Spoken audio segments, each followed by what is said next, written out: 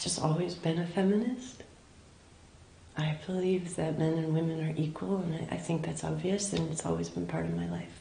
I am the mother of three um, three children, and they are they are really great, and they are feminine. My my daughter in particular was declared by her her teacher when she was nine the most radical feminist nine year old he'd ever met, and I was very proud, and so was her father.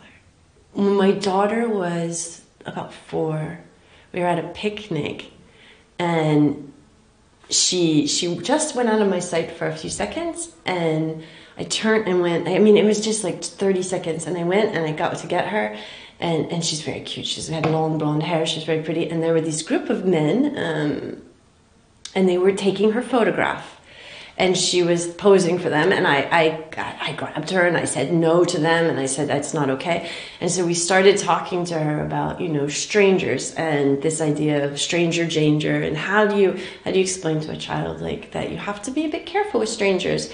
And so I found this book. It's um, a classic kids book the Berenstain Bears. Um, and there's there's many many books hundreds probably of books in this series but there was this one on strangers. And in the book um, the papa bear sits the little baby bear down and explains to her that um, you know you have to be very careful. You can't like you have to be scared of people. And he shows her the newspaper with all the the scary headlines of baby bears being kidnapped and and and he tells them a scary story. And so the little baby bear gets very very scared and won't go outside and play at all. And she doesn't want to go and ride her bike and she doesn't want to play frisbee with her brother. And so the the mama bear takes her aside and says um, you know that that life is like a, like a bushel of apples. And she has the, the drawing in the book is a, the big bushel of apples. And she says you know in every bushel of apples there's one bad apple. But most the apples are just fine. And um, they take and the baby the little baby bear pulls out an apple says look this one's all lumpy and it looks weird and it's like a weird apple. And the mama bear cuts it in half and says but look it's, it's actually a perfectly fine apple and then they they're going through the apples and they find one and they, it's a it looks normal and she cuts it in half. And says but look this one it's rotted in the inside. It's a bad apple. Um, but she says you know again like most of these apples though are perfectly fine. So you need to go outside and most of the people that you see you don't have to be scared of them because they're the they're perfectly fine apples.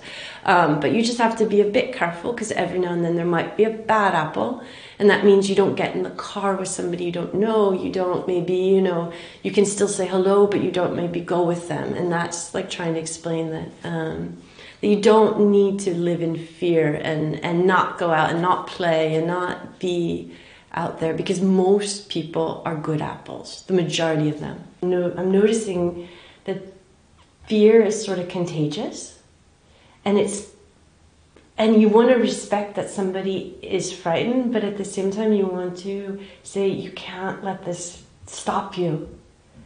I have two boys who are um, eight, and the littlest is about to turn five next week. And they are, they adore their big sister, and I consider them feminist.